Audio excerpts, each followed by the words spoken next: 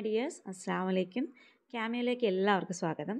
ഇന്ന് നമ്മൾ പരിചയപ്പെടുന്നത് പ്രസ് ബട്ടൺ പിടിപ്പിക്കുന്ന ടൂളാണ് ടൂളെന്നോ ഒരു പ്ലെയറെന്നോ ഒക്കെ പറയാം. ഇത് യൂസ് ചെയ്തിട്ട് പ്രസ് ബട്ടൺ പിടിപ്പിക്കാൻ എളുപ്പമാണ്. അതുപോലെ കാണാൻ നല്ല ഭംഗിയുമാണ്. ഇതിന്റെ രണ്ട് വശങ്ങളാണുള്ളത്. ഒരു വശം വന്നിട്ട് കുഴിഞ്ഞിട്ടാണ് ഇരിക്കുന്നത്. അതിന്റെ കൂടെ തന്നെ രണ്ട് വശ വശത്തായിട്ട് ഓരോ റബ്ബർ റബ്ബറിന്റെ പോർഷൻ അറ്റാച്ച് ചെയ്തിട്ടുണ്ട്. അത് നമ്മൾ പ്രസ് ബട്ടൺ പ്രസ് ചെയ്ത് വെക്കുന്ന സമയത്ത് പുറത്തേക്ക് പോകാതിരിക്കാൻ വേണ്ടിയിട്ടാണ്. അത് നമുക്ക് ഊരി മാറ്റാം. ഇളക്കിയെടുക്കുന്ന സമയത്ത് പിന്നെ സൂക്ഷിക്കണം എന്ന് മാത്രമേ ഉള്ളൂ. കാരണം ഇത് ഒന്നിന്റെ കൂടെ വരുന്ന ഈ ഈ വരുന്ന പോർഷൻ ഉണ്ടല്ലോ. അതായത് ഈ റബ്ബർ പോ പോർഷൻ ഇത് നമുക്ക് സെപ്പറേറ്റ് വാങ്ങിക്കാൻ പിന്നെ കിട്ടില്ല. അപ്പോൾ അതുകൊണ്ട് നമ്മൾ യൂസ് ചെയ്യുമ്പോൾ സൂക്ഷിച്ച് തന്നെ യൂസ് ചെയ്യണം. പിന്നെ ഇതിൽ വരുന്നത് സാധാരണ നമുക്ക് പ്രസ് ബട്ടൺസ് അറിയാമല്ലോ അതുപോലുള്ള പ്രസ് ബട്ടൺസും കാണും. അത് പഞ്ച് ചെയ്യേണ്ട പോർഷനും കാണും. പഞ്ച് ചെയ്യുന്ന ഈ ആണി പോലത്തെ റൗണ്ടിൽ ഒരു ആണി പോലത്തെ ഒരു പോർഷനും കാണും. പിന്നെ വരുന്നതെന്ന് പറഞ്ഞാൽ നമുക്ക് ഇതിന്റെ ഈ പഞ്ചിങ് ആണി ഉണ്ടല്ലോ? പഞ്ച് ചെയ്യുന്ന ആ പോർഷൻ നമുക്ക് ഷോ ബട്ടൺസ് യൂസ് ചെയ്യാം. അങ്ങനെയുള്ള പല കളറിലുള്ള ഷോ ബട്ടൺസും കിട്ടും. ഞാനിപ്പോൾ ഷോ ബട്ടൺസ് വെച്ചിട്ടാണ് കാണിക്കുന്നത്. പഞ്ചിങ് ഷോ ബട്ടൺസ് കിട്ടും. അപ്പോൾ അതിന്റെ മറുവശത്തായിട്ട് നമുക്ക് പിന്നെ പ്രസ് ബട്ടൺസ് കൂടെ പിടിപ്പിച്ചിട്ടാണ് പഞ്ച് ചെയ്ത് പിടിപ്പിക്കുന്നത്. ഫസ്റ്റ് നമുക്ക് എന്തിലാണോ പഞ്ച് ചെയ്യേണ്ടത് ആ പോർഷൻ ജസ്റ്റ് ഒന്ന് മാർക്ക് ചെയ്യുക.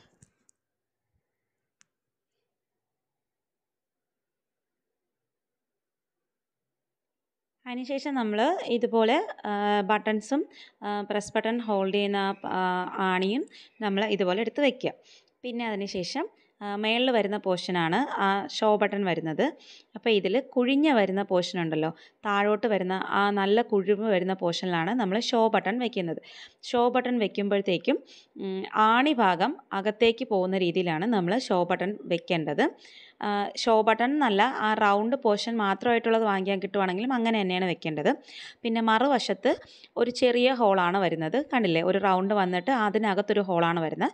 അപ്പോൾ ആ പോർഷനിലാണ് നമ്മൾ ഈ തലഭാഗം ഇങ്ങനെ വെളിയിലോട്ട് തള്ളി നിൽക്കുന്ന പോർഷൻ ഉണ്ടല്ലോ ആ പോർഷൻ അകത്തേക്ക് വേണം വെക്കാനായിട്ട്.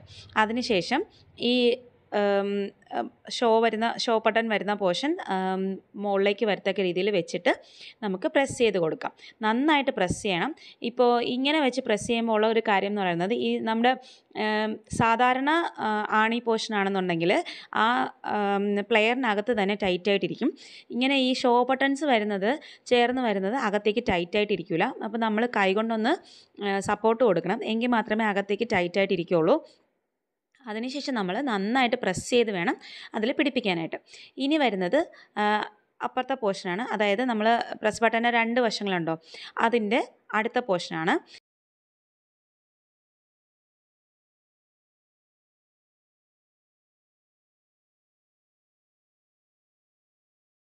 ഒരു ചെറിയ ഹോൾ വരുന്ന ഒരു വശവും കുറച്ചുകൂടെ വലിയ ഹോൾ വരുന്ന ഒരു വശവുമാണ് ഉള്ളത്.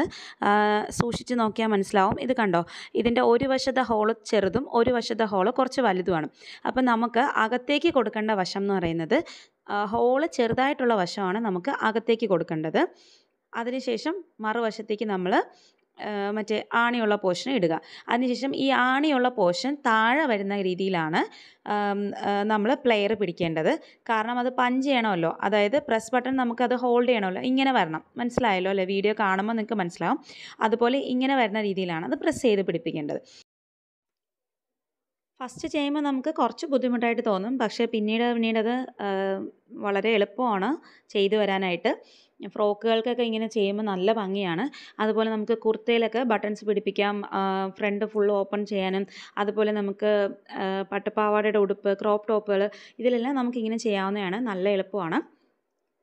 പ്ലെയർ വാങ്ങുമ്പോൾ നമുക്ക് പ്ലെയർ ചേർന്നാണ് ഇരിക്കുന്നത്. രണ്ട് കാലുകളും അതിന്റെ ചേർന്നാണ് ഇരിക്കുന്നത്. അതിന്റെ സൈഡിലായിട്ട് ഒരു പോർഷൻ ഉണ്ട്. നമുക്കതൊന്ന് തിരിച്ചു കഴിഞ്ഞാൽ ആ പ്ലെയർ ഇതുപോലെ കാൽ പോർഷൻ ഇങ്ങനെ തുറന്നു വരും. ആവശ്യം കഴിഞ്ഞാൽ നമുക്കിതുപോലെ അടച്ചു വയ്ക്കാം. അപ്പോൾ ഇത്രയേ ഉള്ളൂ വീഡിയോ നിങ്ങൾക്ക് ഇഷ്ടപ്പെടുവാണെങ്കിൽ ലൈക്ക് ചെയ്യാനും സബ്സ്ക്രൈബ് ചെയ്യാനും കമന്റ് ചെയ്യാനും മറക്കരുത്. താങ്ക്